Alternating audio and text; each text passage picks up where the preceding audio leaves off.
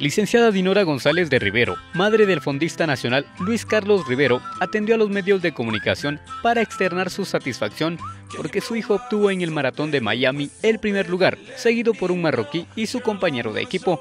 Como madre me siento muy satisfecha, muy orgullosa. Eh, no hay madre que no se sienta orgullosa de ver a un hijo triunfar.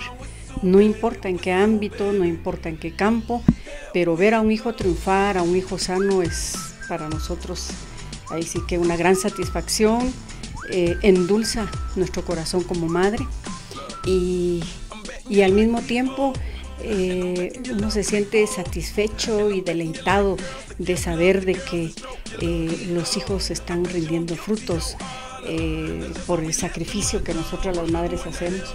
La familia de Rivero estuvo atenta de cómo la carrera se iba desarrollando. Las lágrimas nacieron al saber del resultado final.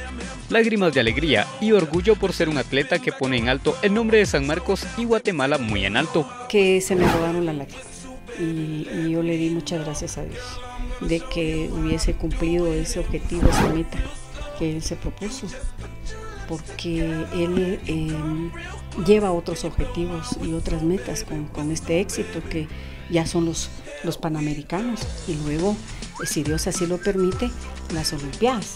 Así es de que la emoción fue para mí muy fuerte, recibí las primeras llamadas de mis vecinos y de amistades y familiares a felicitarnos. Si es, ponen en alto el nombre de nuestro país, de nuestro San Marcos, de acá del Cantón San Antonio y de nuestra familia. Por segunda ocasión gana Luis Carlos esta maratón. En las tres participaciones ha subido al podio de los ganadores, dos como primer lugar y una como tercer lugar. Felicidades a la familia que está siempre mostrando el apoyo en esta profesión del atletismo, que es una de las más complicadas en cuanto al deporte se refiere. Imágenes de Luis Fuentes, reporta para 4 News, RJ Orozco.